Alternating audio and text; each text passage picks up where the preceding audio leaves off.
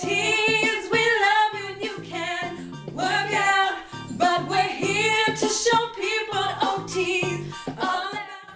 We told parents to tell their children they were taking away their occupations. This is how they reacted.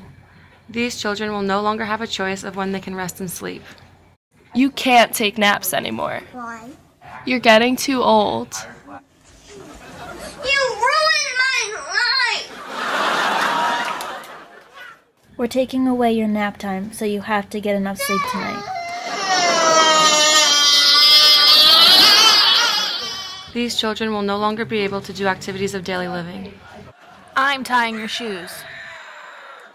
I'm spoon feeding you from now on.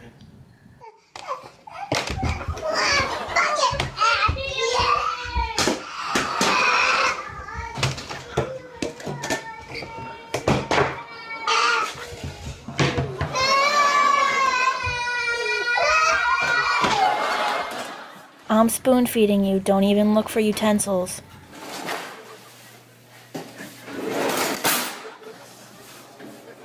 Those aren't real drawers, buddy.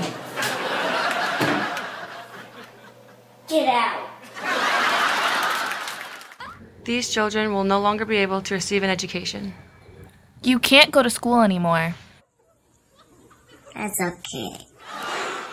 These children will no longer be able to have any social participation. I told you not to. I told you.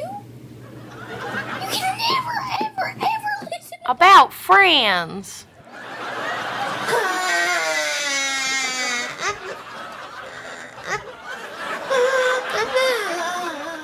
Sorry, you can't see your friends anymore. Okay. It's fine. That's fine. Are you sure it's okay you can never have a play date again? It's fine. It's fine. Oh, thank you. These reactions demonstrate how important occupations are to our daily lives and well being. Not being able to engage in daily occupations can cause a lot of frustration, but through occupational therapy, you can regain meaning in your life. OT